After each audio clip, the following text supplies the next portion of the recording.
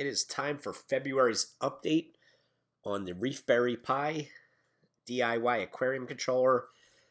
We have a lot to talk about tonight, so I'm going to jump right into it. And I figure um, we'll start with a little overview of the architecture, uh, how this thing's put together. I don't think we've really uh, gone into that before. So I've got a few slides uh, put together, which I can share with you. And we'll jump right into that. And hopefully you find this interesting. I know at least a few of you guys out there have been asking some questions about how this is all put together. So uh, this is for you guys. Um, and you know, if you're not interested with this, just stick with us for a few minutes. We're going to get into a little bit of a demonstration at the end. Uh, but anyway, uh, we won't spend a lot of time on this, but just as a quick overview, uh, Reefberry Pi is my DIY aquarium controller.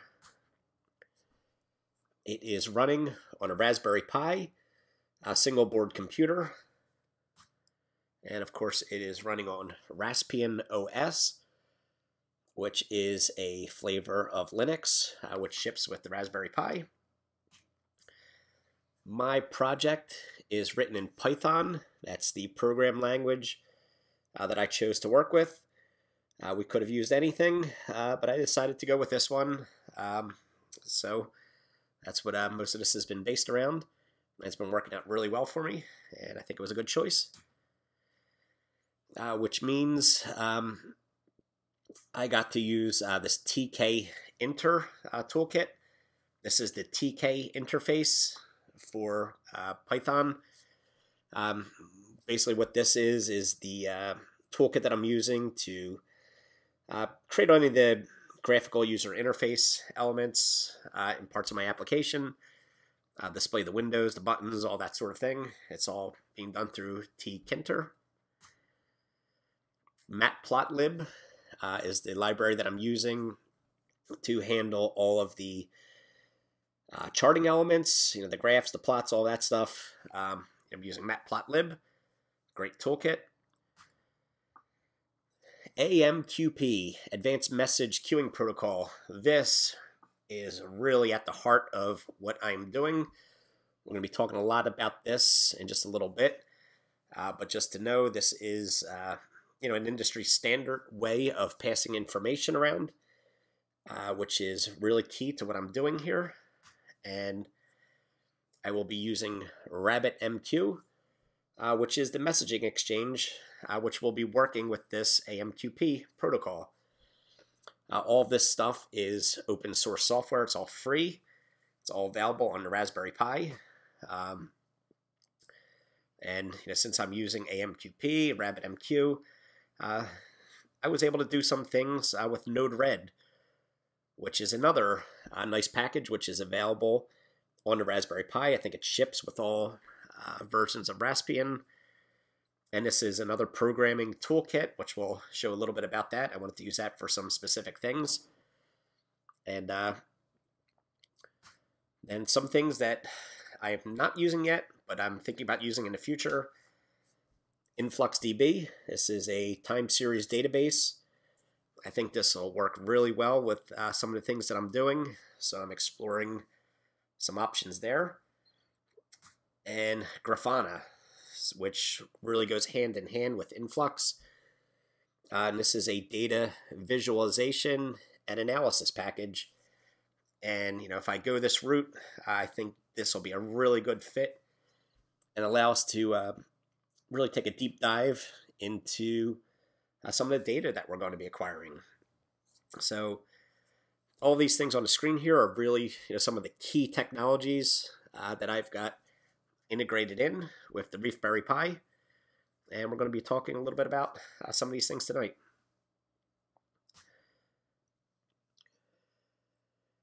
All right, with that out of the way, uh, we can talk about how all of that fits together.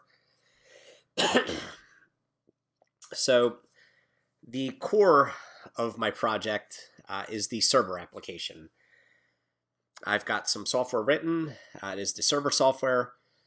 Uh, and basically, what this does is it just runs in a loop and it communicates with all of the hardware, all of the sensors. It acquires the data. Um, it applies you know the aquarium rules and logic uh, to the data that it acquires. Uh, it's responsible for logging that you know data out to the files, and it just you know runs over and over again. You know, applying all the rules and you know deciding on you know what to do. You know, which outlets to open, which outlets to close. Uh, you know, based on the inputs that it's getting from you know, all the various sensors, like the temperature, the pH, you know, all of that stuff.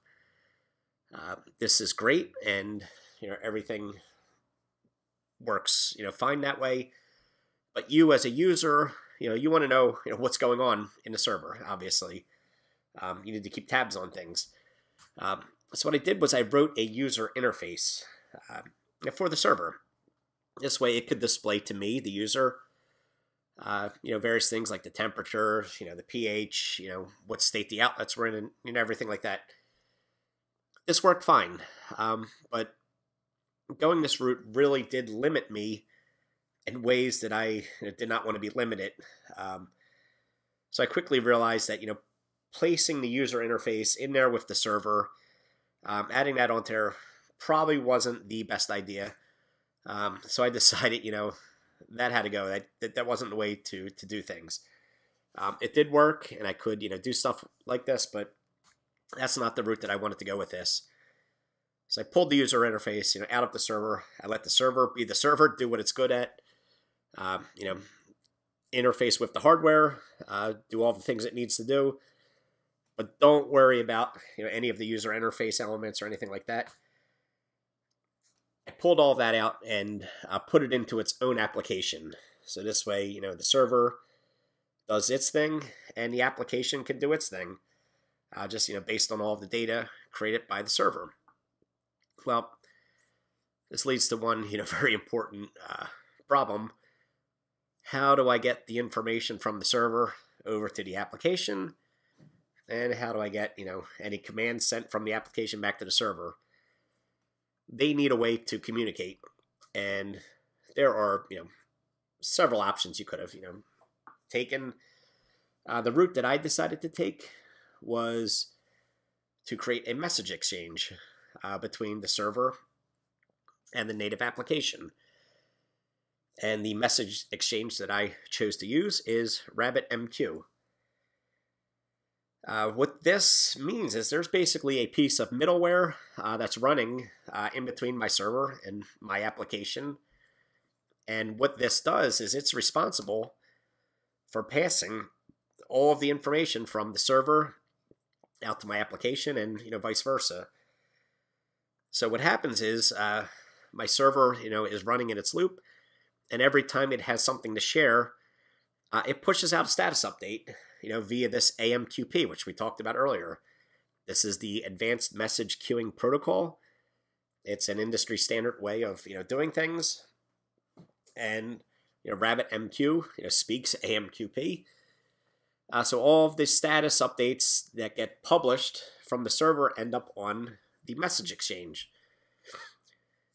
And then what happens from here is, you know, the message exchange holds on to those messages and it looks if it has any subscribers that are subscribed, you know, to that particular exchange, uh, it'll forward those messages out, you know, to the consumers, which in my case is my native application. So everything that gets, you know, broadcast from the server hits the exchange. The exchange will then forward all that information out to the subscriber. And it works uh, really, really well. Um, I was really pleased with how you know, smooth this works. And, you know, it works in the opposite direction as well. If, you know, my application has anything to tell the server, it never talks directly to the server. It posts it onto the message exchange, and the message exchange uh, will forward that information uh, into the server where it can react upon you know things such as you know uh, if I click on a button and to say hey turn an outlet off uh, this doesn't actually talk to the server it tells the message exchange and that forwards the message to the server the server will you know apply the change and then broadcast out the status update which will you know make its way back to the native application uh, so that it knows that you know whatever it wanted to do actually happened uh, works really, really well. Um, and you may think, you know, why go through all this trouble? You know, if you're just getting information from here to here, why have something in the middle? Well, there's a very important reason for that. Um, this way, I completely, you know, obfuscate or you know, take it away from uh, the server. It never needs to know who it's speaking to, you know, out here, you know, on the endpoint. It only ever needs to deliver the information to the message exchange, uh, which opens up a lot of possibilities. Um, which means I could have any uh, other application out here on the end. It doesn't have to be the one that I wrote. Anything else can subscribe uh, to the message exchange and get the same information. Uh, this is very nice. The way I have it set up, it's called a fan out exchange. So this same information that comes into this exchange and gets broadcast out to this application uh, can be sent out to other applications. Um, and in my case, I decided to uh, use Node-RED. So Node-RED is now also subscribed to the exchange, and it's able to pull the same information, or doesn't even pull the information, it gets pushed the information from the exchange anytime that it has something to say, you know, sends it out to Node-RED, as well as my application. And my server over here uh, never knows anything about, you know, what's happening out here and doesn't care. It's only ever concerned with, you know, putting the information out to the exchange and getting information back from the exchange and that leaves it wide open out here for you know, whatever I want to do. Um, all happens through the exchange, and it keeps things you know nice and tidy that way. And the reason that I also wanted to use Node-RED uh, was for you know one uh, particular thing. It has something called the dashboard, um, which I'll show in a little bit. And with the Node-RED dashboard, I'm able to make a nice web-based interface based on the data that's coming in know, through AMQP to Node-RED. And this handles everything that I need to do um, to format that uh, data and present it in a nice dashboard that'll format on, you know, say an iPhone or you know whatever phone you decide to use, a tablet computer like an iPad, uh, your computer web browser. All of that is happening through Node-RED. Um, I didn't need to know anything about coding these HTML pages or anything. I just needed to know a few things about Node-RED, um, tell it you know what to do with the data, and it did all of the heavy work for me. Um, you know to make these nice uh, dashboards for me, and the server itself, you know, certainly didn't have anything to do with that. It's just you know feeding the information out there, providing it to Node-RED, uh, or providing to the exchange, which is you know passing it down through here.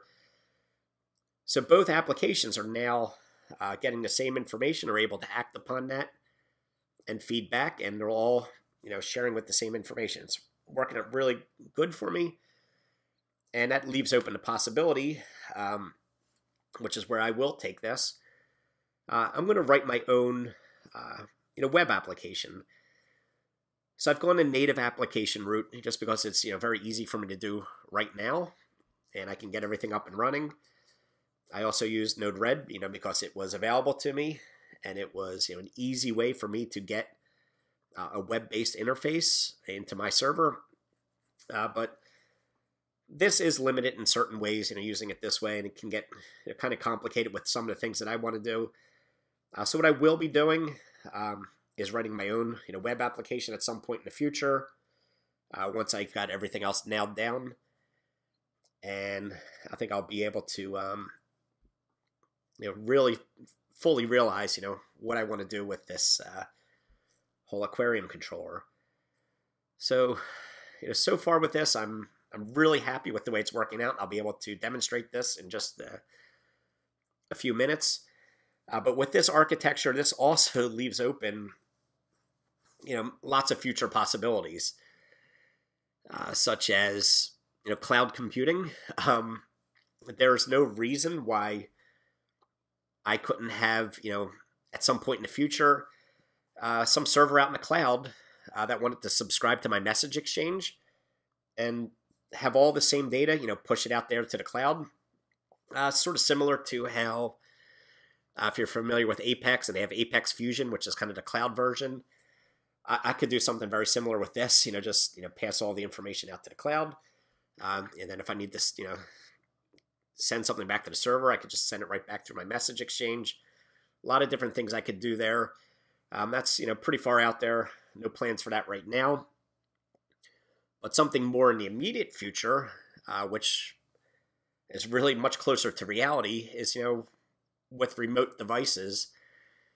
And what I mean by this is, you know, I could set up some sensors, you know, running on some other platform, uh, and just have them also subscribe to the message exchange, and they could send the data that they want to send uh, right back into the server, and the server could, you know, also command things back to there. Uh, for instance, you know, if my Reefberry Pi is on an aquarium on the second floor of my house, you know, running on a reef tank, and it's doing everything it needs to do for a reef tank. Um, what if I also wanted to monitor, uh, say, my RO water reservoir in my basement, and I wanted to have a water level sensor? Uh, well, that's in my basement. The Reefberry Pi is up on the second floor. Well, with this architecture, there's no reason why I couldn't set up uh, some sort of a device down in the basement, just hook it onto my Wi-Fi, and have it feed you know information back into uh, the network, and you know end up on my server application, which could then uh, you know transmit that back to any of the dashboards that I have running. So a lot of different possibilities here. Um, so uh, with that said, let's uh, take a little look at what we do have running so far and how it's working for us.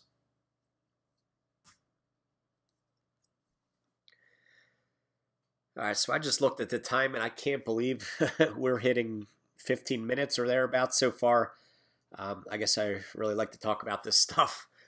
Uh, but probably best that I just break this into two parts. So what I'm going to do is I'm going to stop this uh, video here. Um, so we'll just leave this part one as you know the architecture. Then I'll get into the demonstration in part two, uh, which I'll you know post you know right after this one. Um, but just some things that you have you know to look forward to in part two is you know we'll show you know the actual you know user interface. You know this is the native application. Here's the server over here. Uh, this is what's running on the Raspberry Pi.